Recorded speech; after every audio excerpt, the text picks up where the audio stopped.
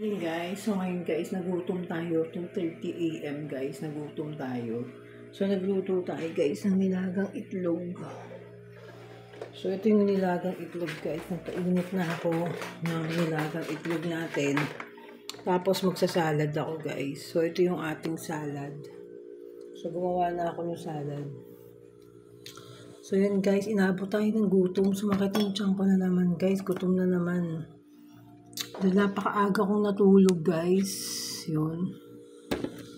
Aga nating natulog. Tapos yun naman, gutom na tayo agad. So, yan yung salad natin. Yung salad natin, tapos itong itlog.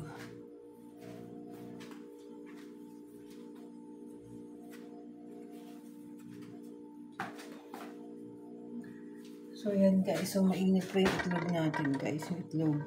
Sana luto na to, guys. Tapos, nilagyan ko na ulit to ng ano, guys. Hmm, itlog. Nilagyan na natin ng ano, guys. Ng keso. Tapos, hinahanap ko yung sesame seed natin. Ba't nawala? Malaman na saan nailagay sa iyo. Sesame seed, lagyan natin yung sesame seed. Yung salad natin. Tapos ito gamit natin salad dressing, guys. So, di ko alam tong itlog na to kung okay na to. Di ko lang alam kung okay na. Kung ano siya. Ika lang. Tikman natin muna.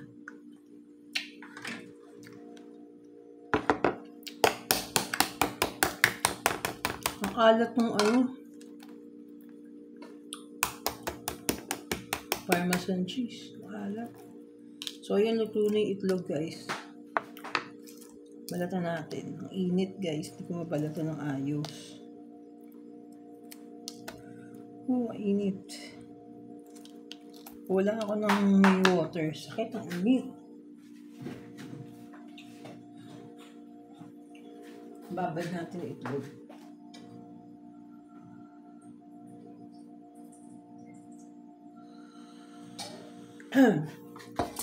so, yan, binabad ko. So, balatan na natin para makakain na tayo. Grabe guys, sumasakit ng tiyan ko pag gutom na gutom na. Grabe. Ito na lang may cucumber. So, dalawang itlog yung lalagay natin. Aray! Nawakan ko yung initan, mainit guys. Nagkamali ako, oh my God. So, yan. Ngayon natin yung itlog. Balatan natin. Init, grabe. Ang bilis lang talaga makaluto dun sa binili kong ano, Astro na initan. so, ginagamit ko na lang siyang initan ng mga ano, ganito itlog. Init yung egg.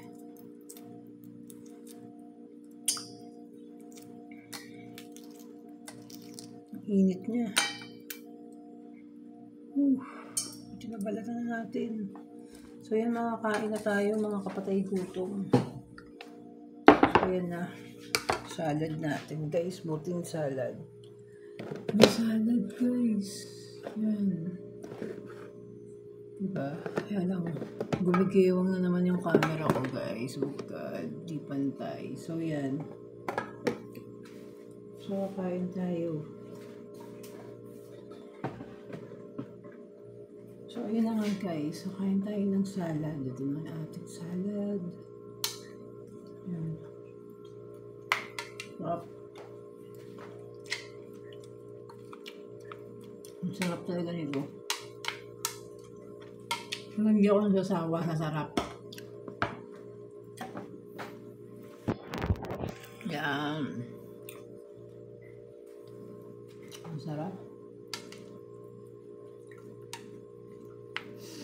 So, inabot na naman tayo ng gutom.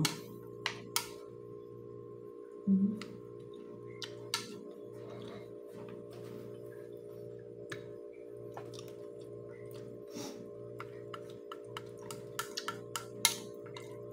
Ngayon, nakapagpagawa na kami ng tarpaulin.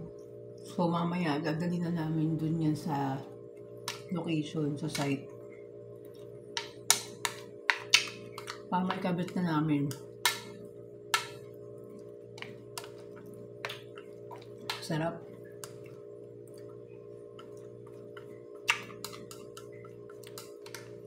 Ayun guys, ang ganda ng cucumber dito. Hindi madaling mabulok.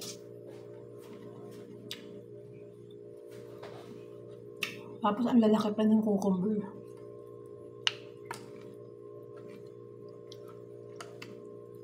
Tsaka hindi siya mabilis mag- magtubig guys, yung cucumber dito.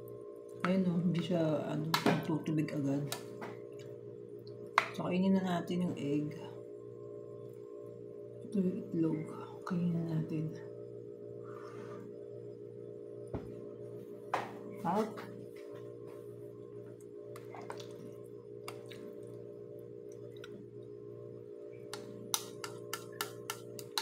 Sarap ng cucumber. So, kamusta kayo? Buong araw nyo, kamusta?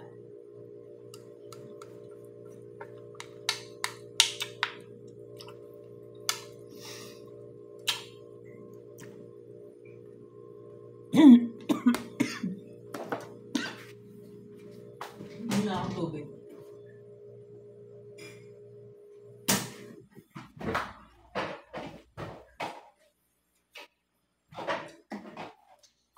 So, kamusta ang buong araw nyo?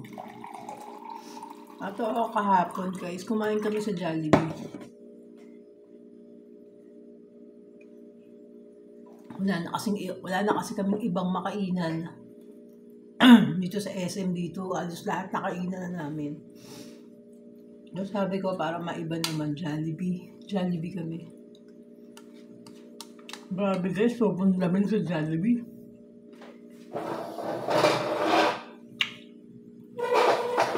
Ang lamig sa Jollibee, grabe. Alam niyo lang.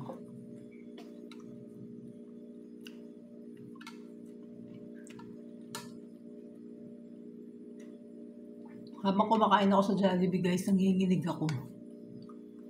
Hmm, Pero ang sarap ng in-order ko, guys. Umorder ako ng ano, ng burger steak. Apat na perasong burger steak. Mga sa 300 something yun. Tapos, Nag-order ako ng chicken joy, two-piece chicken joy na may kanin na. Tapos nag-additional ako ng kanin. So, tatlo yung kanin.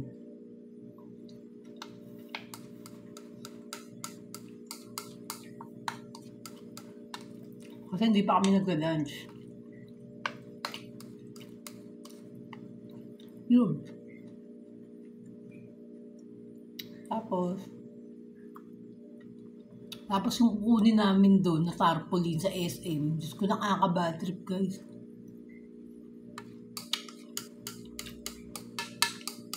Yung taga-print nila, hindi pa pumapasok, pambira. Hindi naman lang sinabi ng babae na mhm nasa probinsya yung gagawa.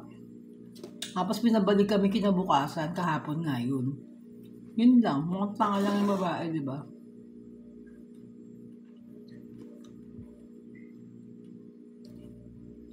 Sana man lang, di ba sinabi niya, para hindi na kami nagkaksaya ng oras na pumunta doon sa SM. Di ba? Naksaya pa yung oras, imbis na yung nauwa na namin na mas maaga yung tarpaulin. Buti na lang doon sa pinuntahan namin, sa mismong gawaan, malapit sa bayan, yun. Lapit-lapit din naman sa SM. Kaya lang tricycle, yun. Nagawa nila agad, biruin mo, siguro mga 40 minutes lang yun. Nagawa nila agad, ang ganda ng pagkagawa. Diba, hindi pa nasayang yung oras namin. Kung alam namin na nandun. Diba, sa bagay kasi ka, yung isang araw, Sunday kasi kami nagpunta. So, sarado sila. Yun. Pero sana, di ba, sinabi nung sa SM na nagbakasyon pala yung tao nila. Kaya wag na kami umasa na kinabukasan, huwag kami bumalik. Eh, walang niya. Parang pinabalik pa kami. Sayang na kami ng oras doon, di ba? So, ganun ang mga kaganapan kahapon. Alam mo guys, yung SM dito, sobrang lamig. Sobrang lamig sa loob. Grabe manginginig sa loob. Hindi sila titipid sa aircon. Ang lamig. Tapos sa Jollibee, nakatodo yung aircon, dalawang malaking aircon, nakatodo, pambira. Lamig, grabe. Tama kumakain ako, nanginginig ako eh.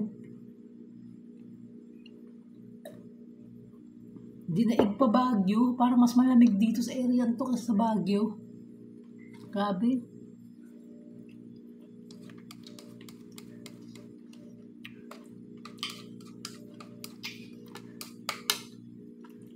Hindi to biglaan yung init niya. Minsan biglaan yung init, tapos biglang uulan. Grabe, nang napakalakas na ulan. Katulad kanina. Kagabi, grabe yung ano, lakas ng ulan yun. Grabe.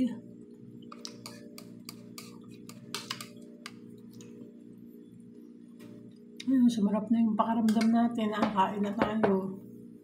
Wala na yung sakit na tiyan natin. Ay, Diyos ko.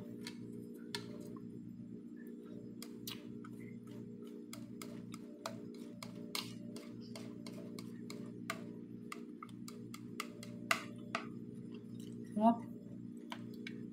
Sarap na gano'ng itlog. Ang ganda ng pagkaluto ko ng egg, guys. Ganda ng pagkaluto ng egg, oh. Hindi siya overcook. Ganda. Hmm.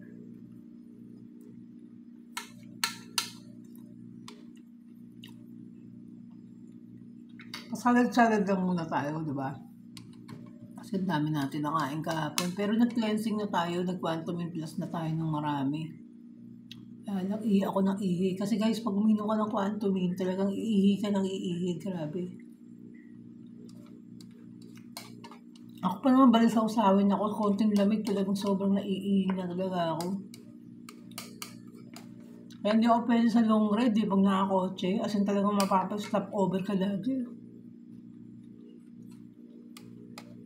Kaya wag akong iinom kasi pag once na uminom ako, maiihi na talaga ako nun. Kaya yun. Grabe. Ang lamig kasi dito guys, sobrang lamig. Iba yung klima dito talaga guys, napakahangin, ang lamig. Alam mo doon, ang pollution nga lang ng konti dito doon sa bayan eh. Doon ka lang maraming uso kasi bayan yun. Pero dito sa area talaga namin, as in talagang, ang lamig talaga ng hangin.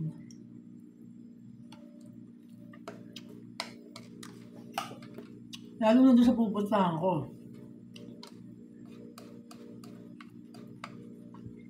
Sobrang lamig talaga doon.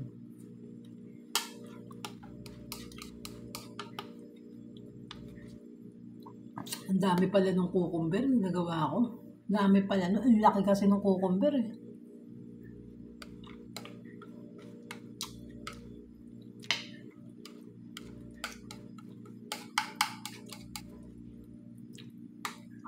Ang taba ng cucumber.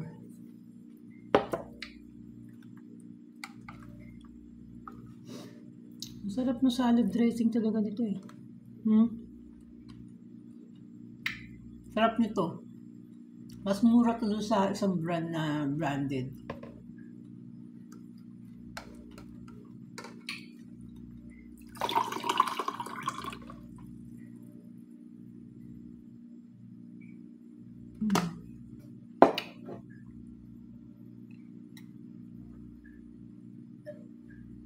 Yun, na ako guys na wala na yung sakit ng tiyan ko. Kasi minsan bigla-bigla na lang na ano, na pag umano um na yung tiyan ko, gutom na ako. Kailangan ko na talaga kumain yun. Hindi pwede na ano, na hindi ako kakain, talagang sasakit talaga siya.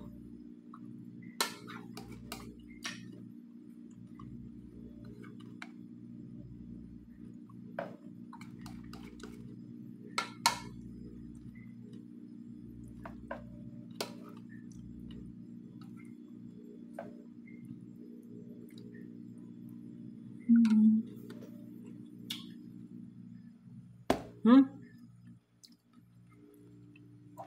So yun na nga guys, yun lang yung mga kwento natin yung araw na to guys. Thank you very much sa bagong subscriber. Gabi talaga guys, dumadami na talaga tayo guys na magtotropa sa akin channel. Nya more vlog, patay gutom, babu.